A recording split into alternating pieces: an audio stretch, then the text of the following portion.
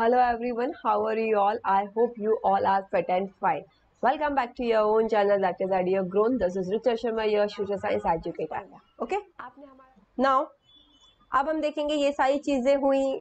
हमने देख लिया कि मोनार्की भी हो गई लोग बाग अपने हिसाब से गवर्नमेंट भी लिया लेकिन उसके बाद भी कोई बेनिफिट नहीं हुआ। जो फ्रांस की किस्मत थी वो अभी तक अच्छी हुई नहीं। हैप्पी एंडिंग अभी तक देखने को नहीं मिली ठीक है?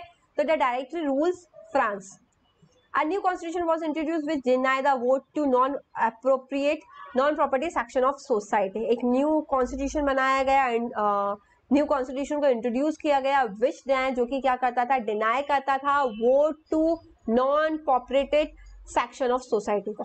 ठीक है? It provide for two elected legislative counselling which then appointed are directly and executive made by of five member यहाँ क्या बोला जा रहा है बच्चा? तो बच्चा, यहाँ क्या हुआ आपका कि जैसे मैंने आपको बताया कॉन्स्टिट्यूशन बनाया गया, फिर से कॉन्स्टिट्यूशन बनाया गया तो जो गरीबों को राइट्स मिले थे वोट करने के, वो फिर से वापस ले लिए गए, ठीक है?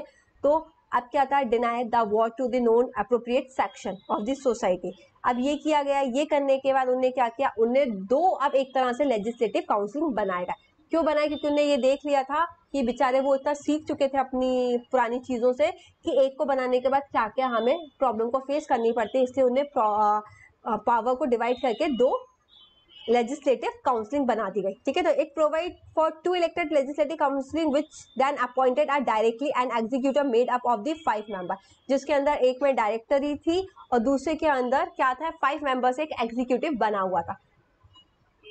अब क्या हुआ? The directly often clash with the legislative council who then south saw to dismiss them अब क्या होता था, लेकिन जो ये डायरेक्टर और लेजिस्लेटिव काउंसिलिंग थी ना, इनकी खुद की नहीं बनती थी। ये लोग खुद ही आपस में इतना लड़ते रहते थे कि वो सिटीजन्स को क्या संभालेंगे, वो देश को क्या संभालेंगे, बीच में इतना लड़ते रहते थे। The political instability of the directly pave the wave of the rise of the military dictator Napoleon, ठीक है? अब इसी बीच में क्या हुआ आपका कि जब ये दो लेजिस्लेटिव को बना दिया गया था, एक डायरेक्टर और एक लेजिस्लेटिव काउंसिल लेकिन इनके बीच में पट नहीं रही थी और ये एक दूसरे से लड़ाई करने में लगे हुए थे तो उस चीज़ का बेनिफिट किसने उठा लिया?